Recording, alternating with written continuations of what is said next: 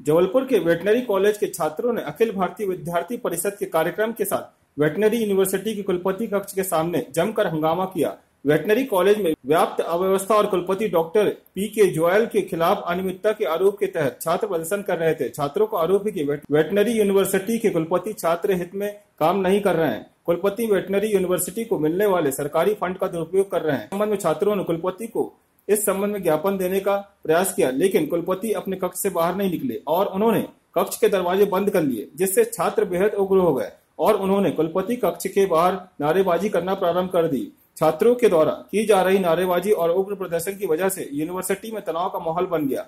और कुछ ही देर में पुलिस मौके पर पहुँच गई। पुलिस ने आदर्श आचार संहिता का हवाला देकर छात्रों को अपना प्रदर्शन रोकने की समझाइश दी। छात्रों और पुलिस के बीच इस दौरान काफ़ी बहस हुई। बा, बाद में छात्रों ने अपना ज्ञापन कुलपति कक्ष के बाहर चस्पा किया और प्रदर्शन समाप्त किया।